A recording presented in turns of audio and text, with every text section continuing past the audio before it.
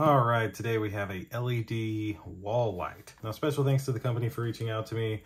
They wanted me to make an unboxing video for you guys to show you really what comes inside the box so you kind of have an idea of exactly what you're getting. So this is just the front.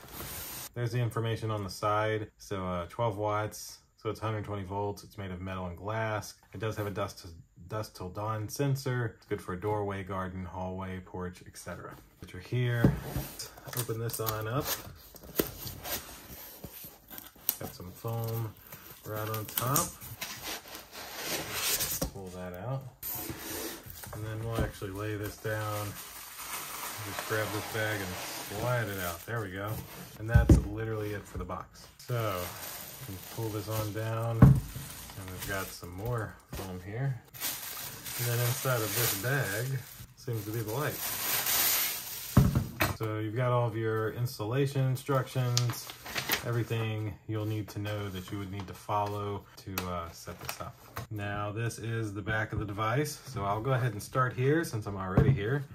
This is the uh, plate that would be used for mounting it. You got the screw on each side, so you take this plate off, you'd mount it, and then you've got your positive, negative, ground wire, etc. all right here.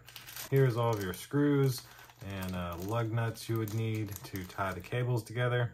And then me show you the front. So that is what this light would look like. You can see it's kind of got like that uh, water effect, even though there's no water. So that's kind of what you're going for here.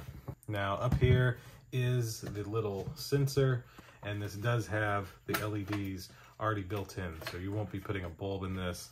You know, this just is, uh, well, what it is. So there we go. That's what this would look like. Uh, front, back, sides, top, bottom. Uh, very nice looking light. Again, thanks to the company for sending this out to me to unbox for you guys. This is this LED wall light.